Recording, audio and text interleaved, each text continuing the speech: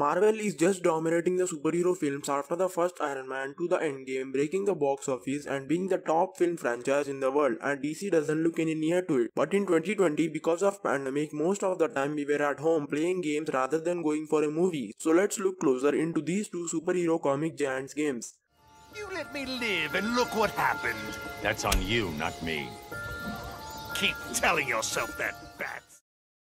Let's start with the 2000s when the video game market was booming. Marvel was great at that time with its Marvel vs Capcom series made by Capcom creators of Street Fighters which made it one of the best fighting games of that time. X-Men Legends and Marvel Ultimate Alliance were top-down role-playing Diablos like games and Spider-Man 2 which was one of the best web swinging of Spider-Man with gorgeous New York City. Marvel just dominated the PS2 and Xbox generation but the things were getting to change. In 2009, Warner Brothers with Rocksteady Studios launched Batman Arkham Asylum which just was at another level of what superhero games we had before it and sequel of it in 2011. Batman Arkham City took it to a next level with the whole Gotham City open, fleeing as Batman. We got two other games in the series till 2015 Batman Arkham Origins and Batman Arkham Knight making it the best superhero game series ever according to most critics. Warner Brothers didn't stop there. In 2013 with NetherRealm Studios developers of Mortal Kombat released Injustice God Among Us and Injustice 2 in 2017 which were one of the best fighting superhero games leaving behind the Marvel vs Capcom series. DC and Rocksteady have announced a Suicide Squad game adding to Batman Arkham series and Batman original story separate from the Batman Arkham series game Gotham Knight with Batman supporting cast Nightwing, Batgirl, Robin and Red Hood set in Gotham City. So it seems DC have a lot more offer in games than Marvel but how can you forget that?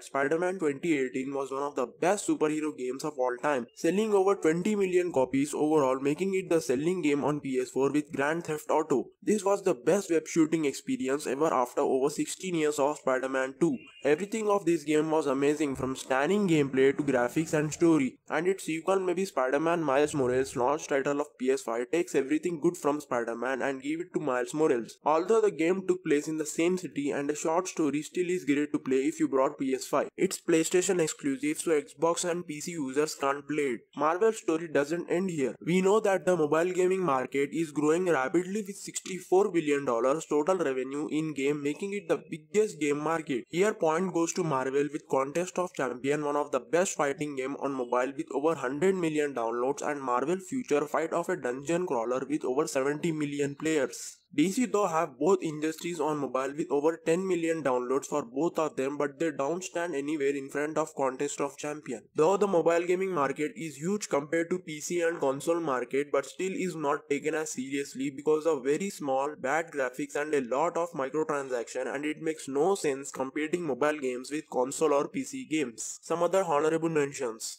Marvel's The Incredible Hulk Ultimate Destruction, Lego Marvel Avengers, Lego Marvel Superheroes, Deadpool, X-Men Origins Wolverine. From DC, Lego Batman series, DC Universe Online, Gotham City Imposter, Mortal Kombat vs DC Universe. What do you think Marvel with its previous generation, PlayStation exclusive and mobile games or DC mainstream focused console and PC games? Who offer the best superhero games and what's your favorite among them? Let me know in the comments.